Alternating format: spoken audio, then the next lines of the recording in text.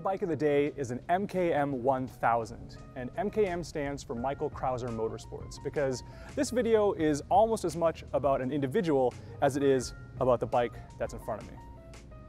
Michael Krauser was a German motorcycle racer who in the 50s had a lot of success with BMW Works' factory sidecar racing team. So clearly he was insane.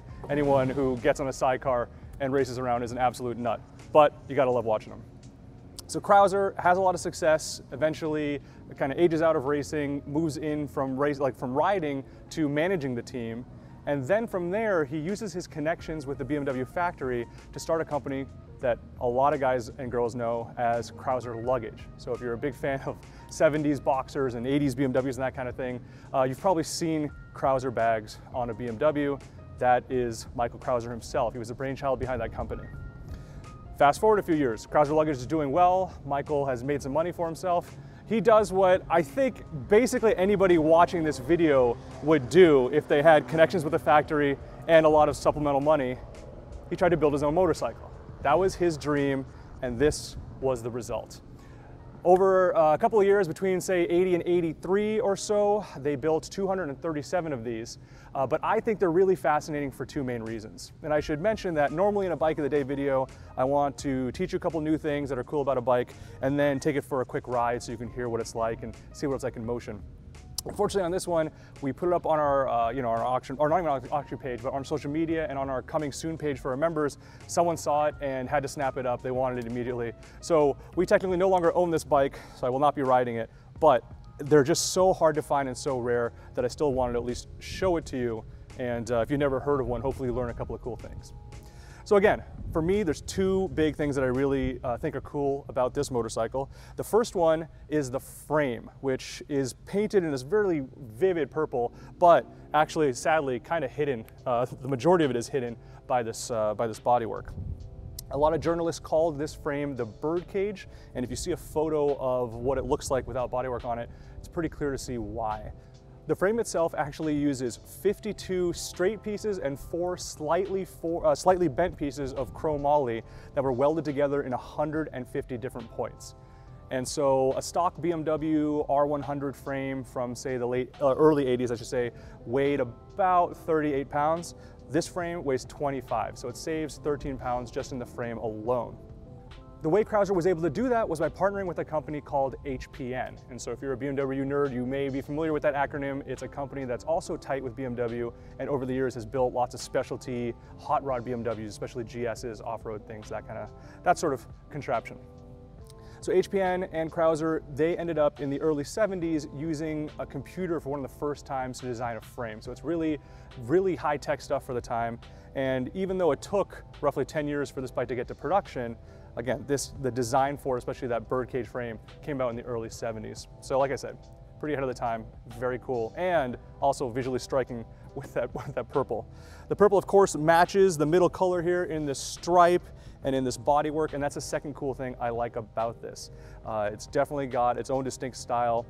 I see a lot of parallels between what Krauser was doing and what Bimota would end up doing a few years later.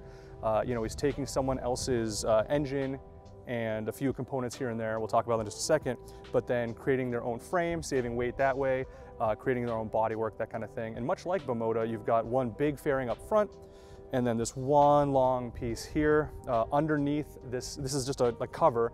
There's an actual metal tank that's hidden underside here.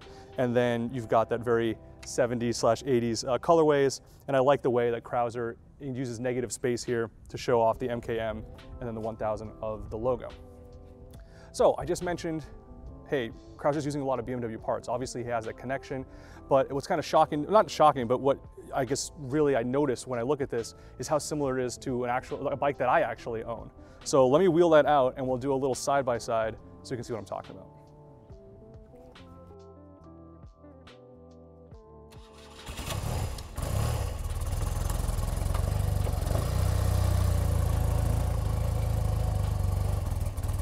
Well, there you go.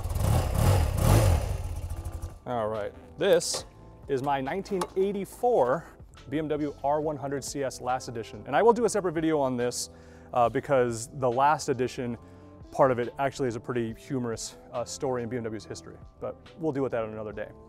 What I wanted to sh just show you is kind of the similarity of how he's just taking parts off the assembly line. I mean, you look at the engine, it's basically the same. The wheels, the like the tach and the speedo, that's all the same.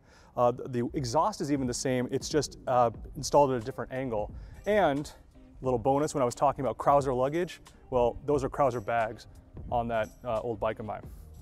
But there's a lot of uh, parts that are being shared here kind of like, I guess, with a Bimota, if you look at like a, a DB1 versus a Ducati 900 SS or whatever it might be. Like, there's just parallels.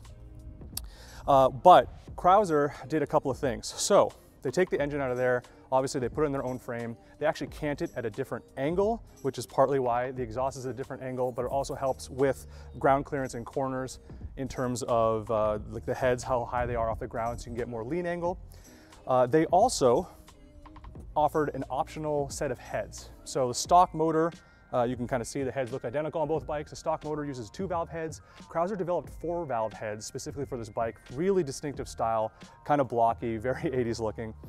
And that bumped up power from 60 on the stock bike to 72, which was by far the fastest thing that BMW was making at the time. There was a trade-off though. So depending on who you talk to, some people feel like those four valve heads weren't just ready to slap on a production motor and go. Uh, some people felt like they were a, a, little unfinished. They had to be taken to a race shop to get, you know, uh, milled out and, uh, and have some finishing work done on the insides. So there are lots of stories of people uh, putting those heads on and then the motors breaking and, and the head's going bad. So uh, I can understand a, a collector, a, a Krauser purist, or whatever you want to call it, might want to see those four valve heads on this, and it, they do get more value from a, from a sales standpoint when they have those heads. But if you're like me and you want to ride your, your collector bike or special bike, I mean, that that BMW mine has 89,000 miles on it. If you want to put that kind of mileage on one of these, then you're probably going to want to have the stock two valve heads on it. Anyway, unfortunately, like I said, this bike's already been sold, so uh, I believe the new owner is planning on doing a restoration of sorts on the bike, which is gonna be nice. He's quite the Krauser enthusiast himself. He's taught me a few things. It's been really nice to converse with him about it. He's got uh, OEM sets of these decals and even fiberglass molds and things like that. So I'm really excited to see what he does with it. Um, normally I tell you the details on it and when it's gonna go up for auction. This one's already sold, but like I said, it's a rare bike. It's the first one that we've seen here in person at Iconic Motorbikes, though we have sold a couple in the past. And so while I was here, I just wanted to show it off and uh, hopefully you learned a couple of things. If you have any questions about Krausers, about my weird old BMW, or anything here at Iconic Motorbikes, let me know in the comments, and thanks for watching.